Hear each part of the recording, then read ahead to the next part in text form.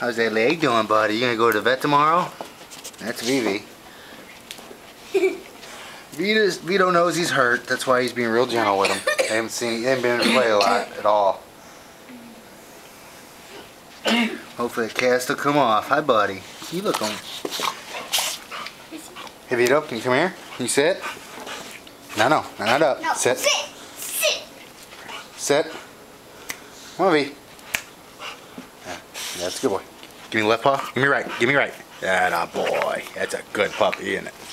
You're a spoiled boy, aren't you? Huh? You spoiled? Say hi to Rochelle and V Brook.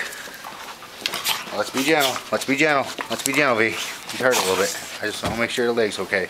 I think his leg is okay. He's running downstairs with it, but. What are you looking goofy for, Titus? Tai Sit. Tai. Tai, sit. And he said he was.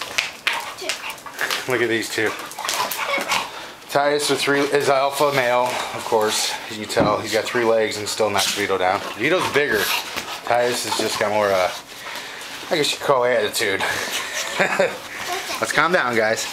They're not biting hard or nothing. They're just playing. They're just playing.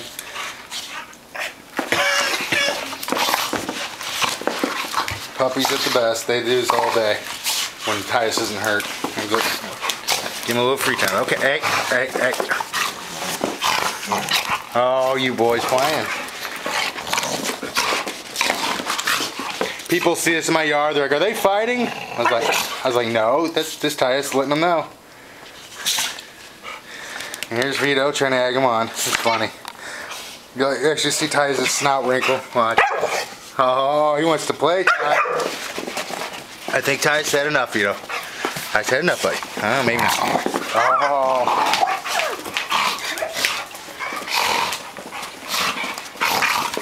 This is them playing. I know it looks bad. It looks rough, but it isn't. Hope this isn't making you dizzy.